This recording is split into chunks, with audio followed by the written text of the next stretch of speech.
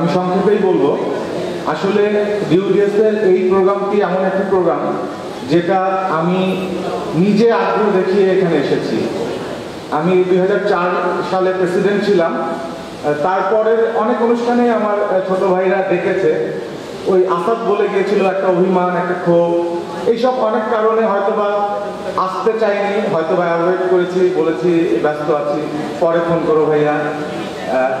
এরকম করে অনেকভাবে কাটিয়ে দিয়েছি, কিন্তু আজকের এই প্রোগ্রামটিতে আমি নিজেই আগ্রহী হয়ে এসেছি। কারণ বিতর্ক যে আমাকে শিখিয়েছে যে দল, মত, আপনি যে যাই করুন ডিউডিএস এর সকলেই আমরা বিভিন্ন দলের কথা বলে গেলাম গ্রুপিং এর কথা বললাম। আমি জানি যে এইটা হয়তো বা এখনও আছে। কিন্তু এই বারো বছর পরে আজকে আমার জায়গায় আমি দাঁড়িয়ে বলতে পারি এই বারো বছর আগে আমরা যে গ্রুপিং করেছিলাম, আমরা যে বিভিন্ন বড় ভাইদেরকে স্মরণ করেছিলাম, সেগুলো সব মিথ্যে। সেগুলো সব মিথ্যে, কারণ ওই জিনিসগুলো আজকের এই জায়গায় দাঁড়িয়ে আমার কাছে নিজেকে খুব মানে আমার নিজের জন্যই মায়া লাগে যে আসলে আমরা কি করতাম। সেই সময়টা যদিও তখন টকবকে, যৌবন, তারুণ্য, অনেক অনেক রাগ, ক্ষোভ। আমার প্রতিপক্ষ সঞ্জীব সাহা, সে আমার সাথে প্রেসিডেন্ট ইলেকশন করেছিল, হেরেছিল। তারপরে কিন্তু তার সাথে আমার বন্ধুত্ব কখনো শেষ হয়নি। আমি সঞ্জীব সাহা সবসময় আমাদের হারার পরেও কিন্তু বন্ধুত্বটা ছিল। আমি চেয়েছিলাম যে আমাদের দলমত নির্বিশেষে সকলকে নিয়ে একটা প্ল্যাটফর্ম তৈরি করতে, কিন্তু আমি পারিনি। এটা পারাটা অনেক কঠিন ব্যাপার। এটা খুব সহজ নয়। তোমরা যারা ছোট ভাই আছো, তোমরা চেষ্টা করেছ এবং আজকে সবাই এসেছে এখানে। আমি তোমাদেরকে আন্তরিকভাবে ধন্যবাদ জানাই। আর আমি বলব যে আমার ডিবেট আমাকে অনেক কিছু দিয়েছে আমার এই জীবনে। এফএ ডিবেটিং ক্লাবে ডিবেট শুরু করেছিলাম কোচি ভাইয়ের হাত ধরে। কোচি ভাই ডেকে ডেকে নিয়ে যেত হলের ডিবেটিং ক্লাবে ডিবেট করার জন্য। তখন হয়তো বা তিনজন, চারজন হলের একটা কোণে গিয়ে আমরা বসতাম, আমরা নিজেরাই টপিক সিলেক্ট করে ডিবেট করতাম। সেই অনুপ্রেরণায় আমরা ডিবেট শুরু করেছিলাম আমি, মাসুদ হলে।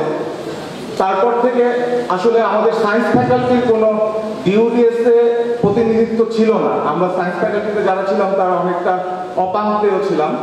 অপাঙ্কে এই অর্থে আমাদের ভোটার বেশি ছিল না। কারণ তারা আজকে একটু স্মৃতিচারণ করছি। স্মৃতিচারণের সময় এগুলো বলতেই পারি। আমাদের ভোটার বেশি ছিল না সে কারণে আমরা ওইভাবে ডিউডিএস অবস্থান করে নিতে পারিনি। তো তারপরে আমরা অনেক চড়াই উত্তরাই পেরিয়ে আমরা ডিউডিএসে আসলাম। আমরা একটা জায়গা করলাম সবার ভালোবাসা পেলাম। কিন্তু আমাদের যে দল মত নির্বিশেষে একটা নিরপেক্ষ প্ল্যাটফর্ম করার কথা ছিল, সেটি করতে পারিনি। তখন সবাই চিন্ত প্রশান্ত দাকে, সবাই চিন্ত কিরণ ভাইকে। দুইটা দুই গ্রুপ দুই মুখে। আমি জানি না কেন তারা দুই গ্রুপের আমরা বুলবুল ভাইকে দেখতাম, খাদেমুল করিম, ইকবাল ভাইকে দেখতাম, এরকম বহু গ্রুপিং ছিল। তো এইসব গ্রুপিং এর মানে আমরা তো আসলে কারোর সাথে ডিবেট করিনি, তাদের সাথে কিংবা তাদের সাংগঠনিক ক্ষমতাও দেখিনি, তারা কীভাবে ডিবেট করতেন, কীভাবে চলতেন, আমরা কিছুই জানতাম না। জাস্ট লোক মুখে শুনেই আমরা বিভাজন সৃষ্টি করেছিলাম। যেটা হয়তোবা এখনকার প্রজন্ম তাই করে থাকবে, যে লোক মুখে কিংবা বড় ভাইয়ের কথা শুনে বিভাজনে যাওয়ার যে ব্যাপারটি। কিন্তু আমি তোমাদেরকে এতটুকু বলতে পারি যে বিভাজন আসলে কখনোই ভালো কিছু ডেকে আনে না। আমি এফিসল ডিবেটিং ক্লাবে ডিবেট করেছিলাম বলে আমি সাতাশতম বিসিএস চান্স পেয়েছি। এটি আমি জোর গলায় বলতে পারি। আমি ডিউডিএস এ এসেছি বলে আমি হাসান আহমেদ চৌধুরী কিরণের মতো একজন বড় হয়ে পেয়েছি। এটা আমি জোর গলায় বলতে পারি। তো আসলে হাসান চৌধুরী কিরণ এই লোকটি সম্পর্কে বলতেই হবে। আমি ভাইয়া বলে গেল যে তার সাথে দ্বন্দ্ব ছিল প্রথম দিকে। হ্যাঁ দ্বন্দ্ব ছিল। আমি এই লোকটাকে পছন্দ করতাম না আসলে, সত্যি যেটা, যে পছন্দ করতাম না। আমি আজকে ভাইয়ার সামনে আছে, তার সামনেই বলছি। কিন্তু আমি একমাত্র এই লোকটি লোকটিকেই দেখলাম। আজকে এই চোদ্দ বছর পরেও যে ডিবেটের জন্য সবকিছু করতে পারে। এটি আমি একদম তার কাছ থেকে দেখেছি।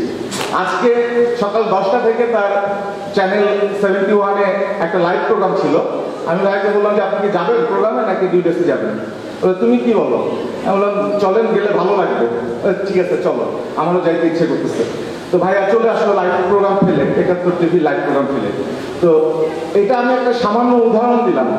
উনি আসলে যে দুটি প্রপোজাল দিয়ে গেল আজকে ডিউ দিয়েছে যে তিনজন বিতার্কিককে প্রতি বছর ঢাকা ইউনিভার্সিটির সাথে একটা চুক্তি করে যে একটা তিন, তিনজন বিতার্কিককে যে পুরস্কারের ঘোষণা দিলেন, এই পুরস্কার কয়জন ভেবেছে আপনাদের মধ্যে? কয়জন চিন্তা করেছে, আজকে এই স্মৃতি রোমন্থন করতে এসে ডিবেটের জন্য কয়জন ভেবেছেন? কিরণ ভাই সবসময় ভাবেন, তিনি বিউডিএস এর তৃতীয় জাতীয় বিতর্ক উৎসব করেছিলেন সকলকে সাথে নিয়ে।